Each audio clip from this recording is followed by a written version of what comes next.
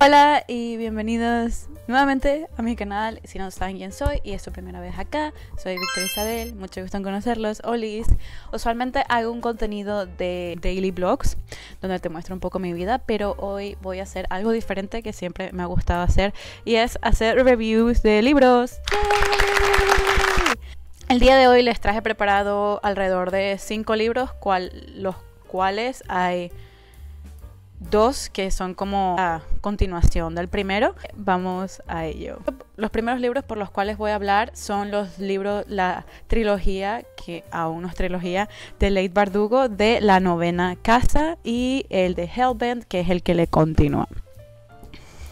Vamos a desempacar este libro. A ver, cuando te sumerges en el mundo escrito por Late Bardugo, o sea, si te suena la autora es porque ella es la que escribió eh, Shadow and Bone y Six of Crowds. O sea, realmente tú no te esperas la montaña rusa en este libro. O sea, literal, yo vine por una cosa y terminé con otra. Pero mira, no estoy molesta, con, no estoy molesta al respecto.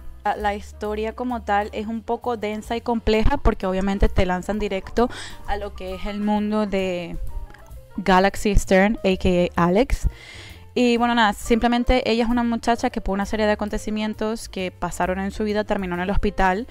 Y justo cuando está en el hospital, una persona se le acerca y le ofrece una beca para la Universidad de Yale con todo su futuro prometido, con una sola condición: que trabaje para la sociedad secreta de Yale llamada Lente.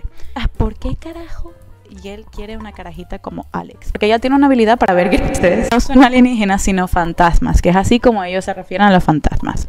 A Alex o sea, me parece que es un personaje moralmente gris, creo que es así como se llama, que no es bueno ni es malo, pero sí tiene unas acciones que tú te quedas como que, mmm, Galaxy, ¿qué estás haciendo? Y otras como que entendible. O sea, que por eso creo que es como más un anti-hero y me gusta mucho y es súper compleja su historia es muy fuerte, la verdad. Esto, por eso creo que esto no es para, no está considerado young adult, sino lectura adulta. Es genuinamente gracioso en el sentido que ni siquiera lo intenta, porque no es como el personaje está hecho para ser gracioso, sino que hay veces que ya pienso unas cosas que digo como que mm, kind of relatable. Y bueno, nada, cuando ella entra a Yale y la sociedad de, Lente eh, se consigue con nada más y nada menos que Daniel Arlington, a.k.a. Darlington. Literal, lo amo, lo adoro. O sea, Darlington está entrenando a Alex para sustituirlo a él. Entonces, por lo tanto, él tiene que interactuar muchísimo con ella y sus interacciones son muy cómicas porque de verdad que los dos son eh, como que se pelean un poquito. Lo que se pelea se bueno. Las interacciones de ellos dos son lo mejor y la fiesta de Halloween, el episodio de la fiesta de Halloween, el episodio de la fiesta de Halloween, el episodio de la fiesta de Halloween. En menos me esperaba yo, de verdad. Pero bueno, en fin. Entre estos dos libros pasa una serie de consentimientos que causan que Darlington se pierda. Alex y unas personas más que están dentro de la sociedad del ente eh, se juntan para poder encontrar a Darlington, que es más básicamente en estos dos libros intentando encontrarlo a él. Esto, lo que me gusta mucho es que es un género más o menos de thriller. Vas a encontrar ocultismo, paranormal, demología, eh, true crime. O sea, es bastante interactivo y me gustó muchísimo esta serie de Late Bardugo. Además que ello, ella lo ambienta en New Haven, que es donde está ubicado Yale. Y además lo hacen las estaciones más frías que son otoño e invierno. Cae como al niño al dedo, porque sabes que son como es una historia muy oscura que trata temas muy oscuros y el hecho de que lo estás haciendo en estaciones que son frías y oscuras es que es perfecto. Me encantó la ambientación y ella en un futuro va a sacar un tercero porque tiene que tiene que, porque el Bardugo no me hagas esto. La verdad es que me impresiona mucho que tampoco la gente en TikTok se haya puesto como muy a leer estos libros y que no se haya popularizado, porque la verdad que es son increíbles, me gustaron muchísimo. Ahora vamos al Victoria Rating. Para este libro mi rating es de 8. Me encanta la manera en que Leigh Bardugo explica y dirige a sus personajes. La verdad que no me quejo, son muy complejos y muy completos. Lo único que sí me hubiese gustado es que hay muchísimos personajes secundarios que la verdad nos dan a ver y ellos participan mucho en la historia, pero me hubiese gustado como tener un poquito más de background para poder entenderlos un poco más. La ambientación 10 de 10, la verdad lo acabo de decir, o sea, el hecho de que estuviera ambientado en invierno y otoño me parece exclusivamente buenísimo. Trama 8.10, me gustó mucho y la verdad son estos tipos de género tipo Dark Academia eh, góticos me intrigan muchísimo. Pero es verdad que se hace muy pesado al principio porque te estás integrando a un mundo nuevo, por lo tanto hay muchísimas cosas que te tienen que explicar y también Lady Bardugo lo que hace es que en, de manera para poder explicar la historia, ella viaja entre el pasado y el presente.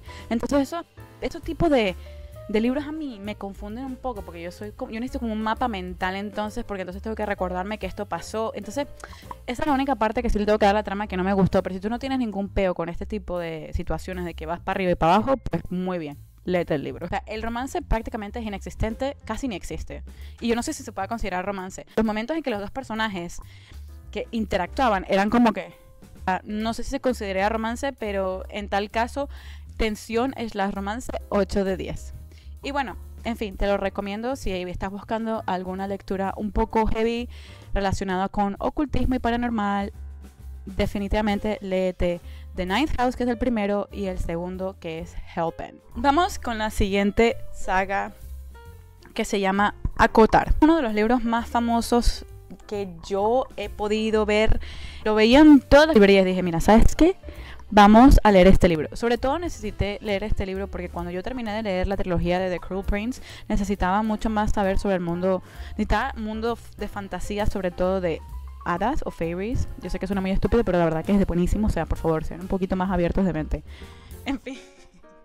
Perdón por el roast. Una corte de espinas y rosas. Déjame explicarle un poquito rapidito el primer libro porque me lo leí el año pasado y la verdad que mm, no, eh, no quiero hablar mucho de ese tema porque la verdad es que el libro más reciente que me, me leí fue el segundo, A Court of Mist and Fury. La corte de rosas y espinas sigue la historia de nuestra protagonista llamada Fade y cómo a través de una serie de acontecimientos termina viviendo en la corte de un High Lord. Un High Lord vendría siendo como que eh, el rey de la corte, básicamente, porque hay distintas cortes en el mundo de Acotar. Muchísimo romance, eh, giros inesperados, frustraciones y sobre todo bastante lore del mundo de Acotar, que adoro este mundo. O sea, la manera en que Sarah J. Maas esto, escribió todos estos libros fue increíble, la verdad. Y, o sea, cómo tú tienes la capacidad para crear algo tan complejo, la verdad. Es increíble lo que la gente a veces puede hacer.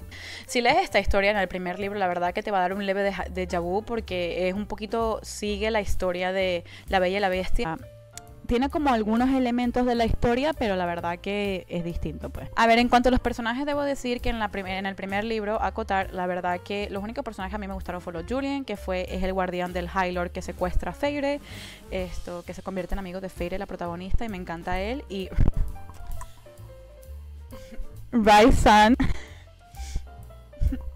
Rai-san Lady no es mi personaje favorito, perdona por la, por la pronunciación, pero es que yo no sé.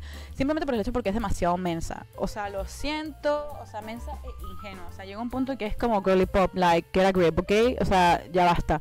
Pero puedo entender porque ella es muy joven y que mi review es realmente del segundo libro. Así que si tú quieres adentrarte en este mundo sin spoilers, por favor, sáltate por lo menos los próximos 4 a 5 minutos del video para que sigas viendo mis otros reviews de otros libros. ¿Dónde empiezo yo con este libro? Continuamos con la historia de Fairy después de que ella destruye a Amaranta. Fairy esto muere, vuelve a la vida como una Fairy. Fairy Favorite. También vemos cómo se desenvuelve su vida con Tam Lim y por si fuera poco, no nos olvidemos de que ella tiene un pacto con Rai-san. Él, él va a volver, él, va a volver a por Fairy. Lo sabía, es que eres tú, eres tú Rice. Eso es lo único que voy a decir. A ver, la, la evolución de Fairy es hermosa, de verdad que esto entendí por la, razón por la cual ella era demasiado ingenua, ingenua y por la razón por la cual Sara la escribió así, porque de verdad que se convierte en una persona totalmente independiente, fuerte y súper valiente, que me encanta muchísimo. De verdad que una de las mejores, uno de los mejores crecimientos de personaje que he visto, que he leído yo en los últimos años, la verdad. A ver, en esta historia logramos conocer mucho más del lore y mucho más de las cortes, por razones, porque no quiero dar spoilers, se conoce más de ellas y la complejidad del el mundo de acotar y la política del mundo de acotar también. Y aparte de eso también nos adentramos muchísimo más en la historia de Rice. Muy, muy triste. En cuanto más tiempo pasaba y más páginas pasaban, más entrelazaban Fairy y Rice y yo de verdad tenía pálpitos, hermano. Tenía pálpitos. Para mis calificaciones de de este libro, A Court of Mist and Fury, 8.5 de 10. Romance, 9 de 10. A ver, me gustó mucho porque la verdad que adoro los romances, pero lo bueno de, la historia es que no se centra básicamente en el romance solo, sino que lo ves, lo ves crecer a raíz que la historia va pasando y van influyendo muchísimas cosas y es que es demasiado lindo. Me encantó el romance. Realmente sí que hay muchísimos clichés, pero si no te importa, de verdad, es como no hay nada mejor que un cliché, de verdad. O sea, sobre todo en historias tan complejas como esta. Eh, la trama, ocho libros muy complejo y en mi opinión muy bien construido. Eh, se me hizo muy tedioso al principio por esta misma razón, inclusive en este libro. Eh, cuesta mucho que te atrape, pero si tú continúas dándole y leyendo porque ya te gusta la historia de por sí, te lo prometo, no te vas a arrepentir porque es que el mundo es tan complejo y tan bien completado que de verdad vale la pena. De personajes, nueve, los personajes principales, sobre todo Favorite, Ryzen y bueno, en el primer libro, Tamlin de verdad que son personajes, son personajes, como hemos dicho, y valga la redundancia, muy bien desarrollados. Eh, pero, inclusive los personajes secundarios no son como fantasmas, sino que también influyen en la historia. Y, a ver, la verdad, no te olvidas fácilmente de ellos. La ambientación es un 10 de 10. Es cierto que hay mucha descripción, pero yo siento que literal debería haber descripción así extendida porque es un mundo de fantasía y la verdad que de manera que tú puedas envisionar la manera en que probablemente Sarah J. J. más lo vio, ella te tiene que describir todo y la verdad que la forma en que lo hace es parte al mundo de acotar muy bien. Después de leer libros tan complicados, yo dije, yo tengo que leer un libro que sea súper ligero. Y aquí encontramos a The Rule Book por Sarah Adam. ¿De qué trata? Bueno, tenemos a dos protagonistas que son Nora y Derek. Y básicamente ellos eran novios cuando estaban en la universidad. Un día, de lo más random, Nora decide terminar con Derek de una manera tan abruptamente que, de verdad, lo deja desconcertado, desorientado y súper, súper con su corazón roto. ¿Qué pasa? Fast forward a unos años, esto, Nora está trabajando en una agencia, en una agencia que representa deportistas. Y Derek es una estrella del NFL, que sería como básicamente el fútbol americano, básicamente el fútbol las ligas de fútbol americano. La tarea de Nora es representar a Derek. Sigue estando con su corazón roto y muy desorientado porque aún no entiende qué fue lo que pasó con Nora porque la amaba y se quería casar con ella, entendible, esto porque Nora es una joya. Pero, obviamente, él toma esta oportunidad para hacerle la vida a cuadros a Nora. We love that. Lectura súper ligera y llena de clichés. Fue mi primer libro creo yo, de segundas oportunidades. No me decepcionó, era lo que yo estaba buscando. Nora, mi personaje, o sea, la adoro, de verdad me pareció súper cómica y el, hecho de que ella en situaciones de ansiedad y de seriedad empiece a bromear o a reírse, eh, literal, yo siento muy cercana a ella porque a veces yo empiezo a hacer muchas bizarradas cuando hay momentos muy serios porque no sé cómo reaccionar. Derek eh, se toca el tema de que él sufre de dislexia y como que él se la diagnostica cuando él es adulto. La verdad que me parece que si te vas a abordar en un tema así, es verdad que Sara lo explica mucho, que es la autora del libro, eh, pero no me parece que lo explicó de una manera propia ni le dio el espacio suficiente para hablar de su dislexia. O sea, sabemos que fue al psicólogo, pero y que él tenía ya problemas de aprendizaje mucho más cuando era joven. Pero me parece que ella podría haber hablado más mejor del tema y como que como Derek llegó a conclusión de que él tenía que ir al psicólogo por esto y todas esas cosas, ¿saben? No sé. Me hubiese gustado que yo hubiese indagado más.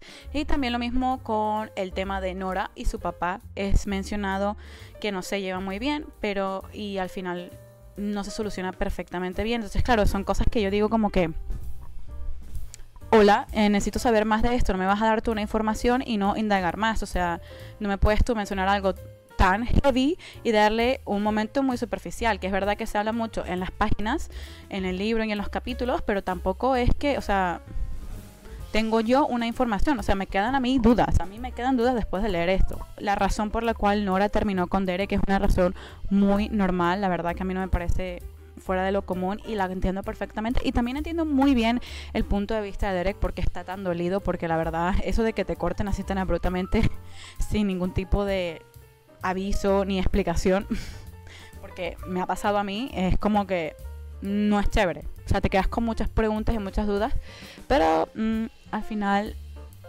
logras superar estas cosas y pues ya, pero Derek obviamente nunca lo superó. Un acontecimiento al final que me molestó mucho que hizo Derek, que es como que no tiene nada que ver entre el romance de él y Nora, simplemente en el mundo laboral, que me quedé como...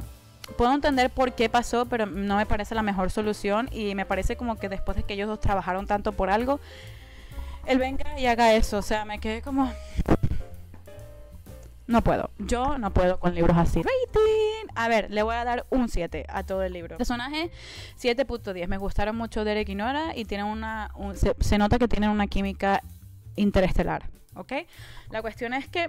Mm, eh, me parece que ellos tendrían que haber hablado mucho más y Derek tendría que haber escuchado un poco más. Yo entiendo que cuando estás dolido porque te cortan de la nada no quieres escuchar, pero después de unos años me parece que hay que crecer un poquito, papito, y dejar, y dejar hablar a los demás. No sé. La trama. 7.10. A ver, es una lectura ligera. El final me parece muy apresurado demasiado, o sea, le damos muchísima larga a todo lo que pasó y el final es literal uno a tres capítulos y es como demasiado apresurado, pasan demasiadas cosas, digo, yo así no puedo. O sea, tú a mí me tienes que dar un propio corte y un desenlace porque yo así, a mí no me gusta leer libros así. Eso es lo único que realmente no me gustó mucho del libro. El romance. A ver, es muy ligero y yo, aunque yo creo que los problemas podrían haberse resueltos hablando, la ambientación está ambientado en Los Ángeles, Las Vegas y Cancún. Spoiler por el último. Pero la verdad es que sí quedan como vibras así de verano. A que estos puntos que yo te acabo de decir no dejen que tu experiencia de lector influyan en ella. Simplemente este es mi punto de vista y tu punto de vista puede ser totalmente diferente al mío. Y todo está bien porque todo es subjetivo. En fin, este es el final de mis book reviews.